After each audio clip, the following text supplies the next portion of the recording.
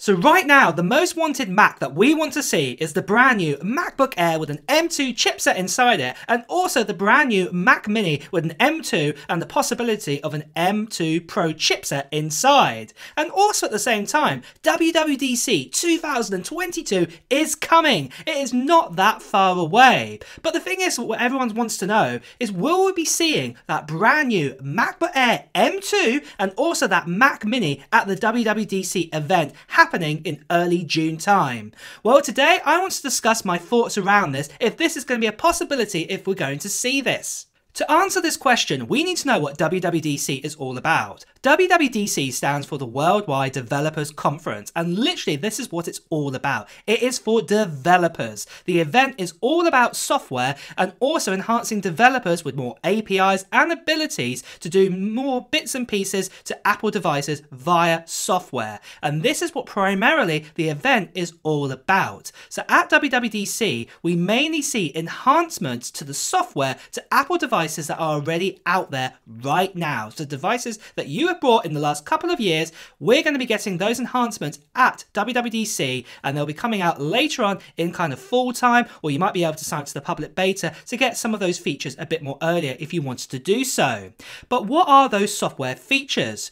Well, first of all, we get a lot of updates to Apple's operating systems. So, for example, with iOS, what is primarily used on the iPhone and also used on the iPod Touch, for example, we normally get some great new updates. And this year, we're expecting some new features all over again. And we've been told so far we're going to be getting some updates to, say, the widgets mainly on the front kind of home screen. And also, we've been told that the settings might also get an overhaul, the actual settings page. Something else that we're going to be getting updates to is iPad OS. So in the last couple of weeks, there's been lots of renders floating around telling us that we're going to be getting an overhaul for iPad OS, and this is definitely needed, especially in the likes that we now have the iPad Pro with an M1 chipset inside it, and also the iPad Air with an M1 chipset. The iPad Pro can go far further in its operating system, and it needs to happen. So we've been showing kind of renders here, as you can see, that we're going to be getting kind of floating windows now, and this looks really, really cool. Something else that we've been told that is possibly going to be happening this year is we're going to be getting an overhaul to the likes of kind of the pro apps that Apple provide. I'm talking about Logic Pro,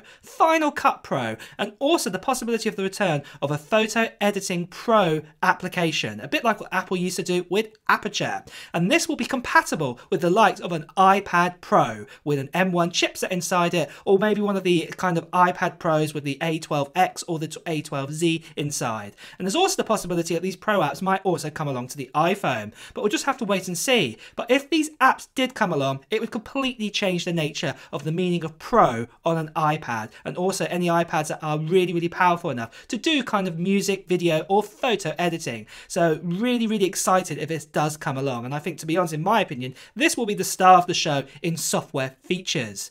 We're also expecting to get some new software features in macOS. And generally, what normally happens is whatever kind of features are normally shown in iOS or iPadOS, normally these are brought to the new macOS. We're not quite sure what the new macOS is going to be called, apart from it will be named after a place in California, as this has been happening for the last 10 years or so. So we're expecting the same again this year.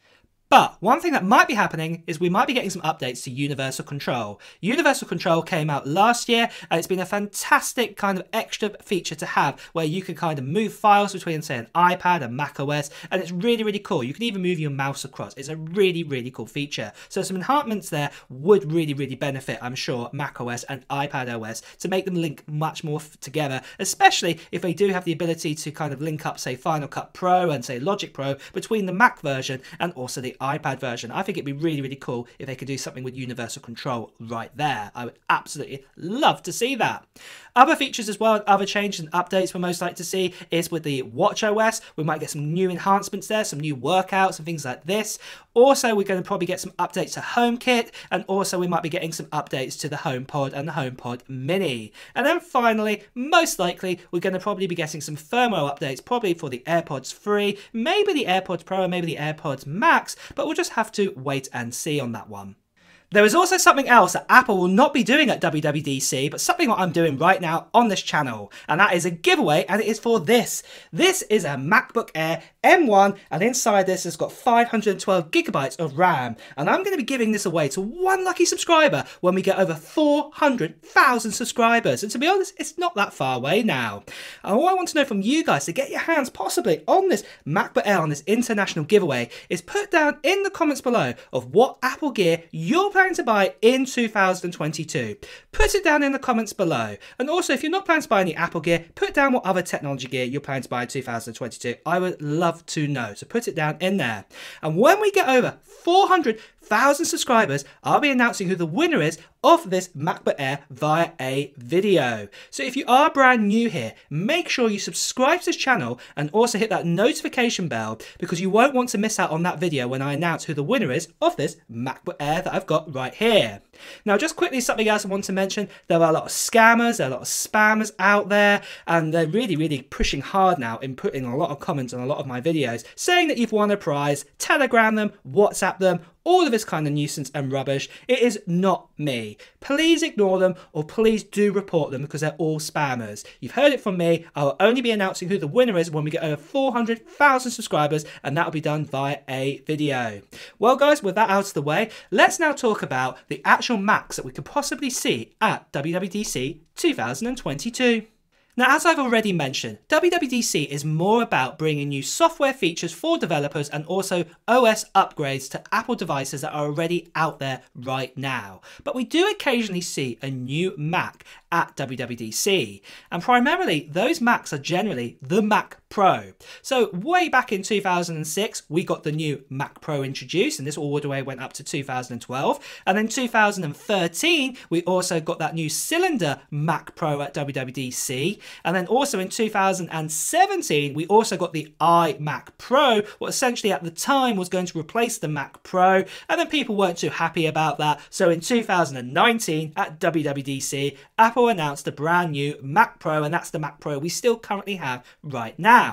But that's one thing I want to talk about very quickly there. The Mac Pro is still running on an Intel chipset, and recently we did hear this at the Peek event, or the Peek Performance event. Making our transition nearly complete with just one more product to go, Mac Pro. But that is for another day.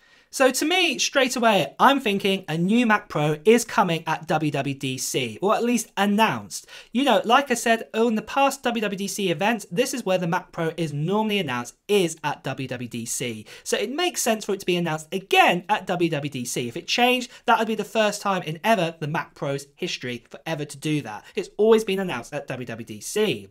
Now, the next thing I want to ask you guys is what other products do you think have been announced at WWDC in the last kind of 10 to 12 years. Have a think about it for a second.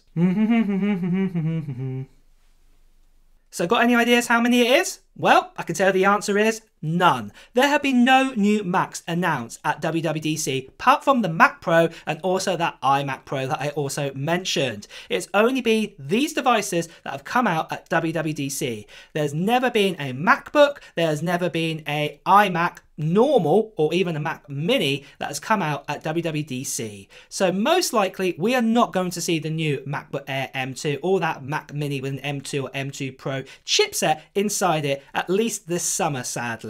But to be deadly honest though, there have been a few rumours going around. For example, Mark Gurman has recently said that there's a likely possibility that we could see the new Mac Mini and also the MacBook Air, as you can see right here at WWDC. But personally, in my opinion, just like last year, we were told that we were probably going to be getting the new 14 and 16 inch MacBook Pros at WWDC, and it never ever happened. Well, to be honest, I don't think it's going to happen. If it was going to happen, it was going to happen last year, and then it would possibly happen this year. I don't think Apple are going to make a big kind of event just for the MacBook Air at WWDC. They want to basically make a big thing of it, especially that we're expecting a new redesign on both the MacBook Air and also the Mac Mini, and they don't want to take that kind of light away from WWDC with its software enhancements. So personally, I don't think it is coming at all. But to be deadly honest, I would love to be proved wrong. I would love to get my hands on the new MacBook Air M2 and also that new Mac Mini. And the sooner it comes out, the better, in my opinion, because I'd love to see what it's capable of. Now, one thing I do think what might happen at WWDC is we might actually see Tim Cook possibly talking about the next generation, and that is talking about M2 chipsets itself, and that might possibly happen and say these are coming later on in the year. But what I don't think we'll see is an actual physical product for the consumer to get their hands on. Maybe there'll be a developer kit with M2, who knows? But personally, I don't think there'll be anything for the actual kind of public consumer to get their hands on in WWDC, apart from the brand new Mac Pro. But like I said, I would love to be proved wrong on this, and I would love to still get my hands on the MacBook Air and also the Mac Mini. Well guys, on that note, it's time to wrap up this video. Are you disappointed to hear that news, or do you think it makes sense in your opinion? Let me know in the comments below. And also at the same time, guys, if you really like this video, I'd really appreciate a like on this video as well. And also at the same time as well, if you want to hear the latest Apple news, reviews, and comparisons, please make sure you subscribe to this channel and also hit that notification bell. Until next time, guys, I will see you really soon. Take care now. Bye bye.